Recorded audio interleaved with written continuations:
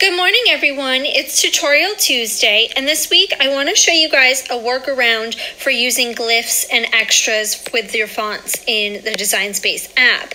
Uh, a lot of users have been mentioning that since the latest update, the Unicode app no longer works in conjunction with the Design Space app to have the glyphs come over into um, your fonts.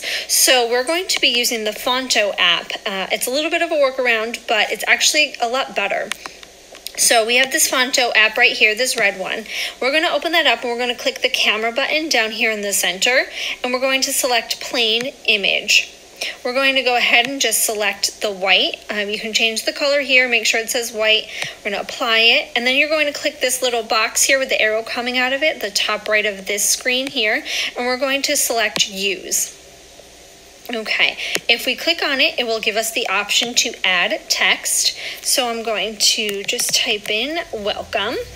Okay, I already have the Samantha font selected um, from doing this previously. So if not, you click the font here, you go down through your fonts and you select it. I have Samantha selected, so we're all set. And we're going to click done. We're going to go over here and you can um, make this bigger. You can select size, make it bigger. Um, it's up to you. You can change the text. Um, you can change the font as you go along. It's up to you. Okay, so what I'm going to do is go over to the Unicode app. I am going to, and if you've never used this before, I have a video on it, but I'm going to just go over this quickly. I'm going to go over to Browse Fonts. I'm going to go down to the Samantha font. Uh, here we go.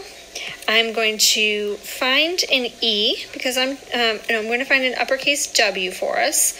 I'll change that first.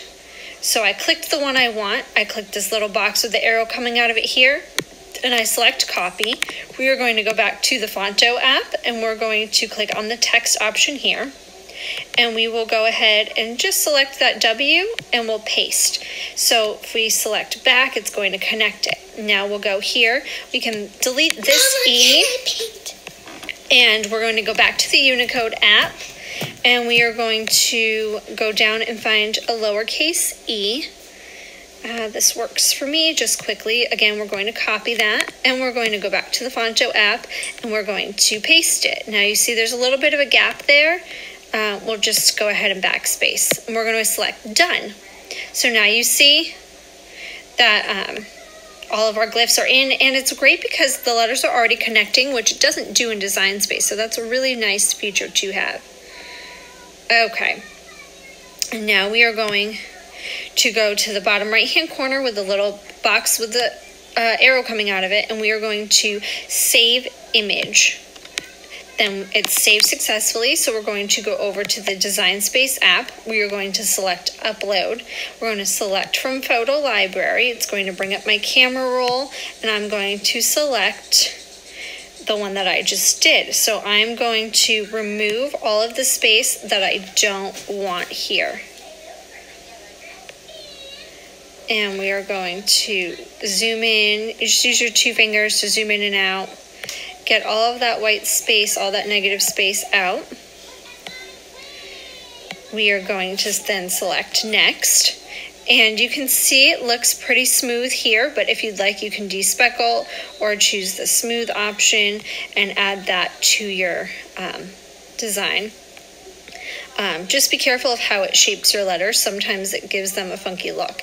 And then you can go to next, save it as a cut image. We will save that. and then we can insert it and use it. And I like this option better because it already connects your letter. So it even saves you some time, even though it seems like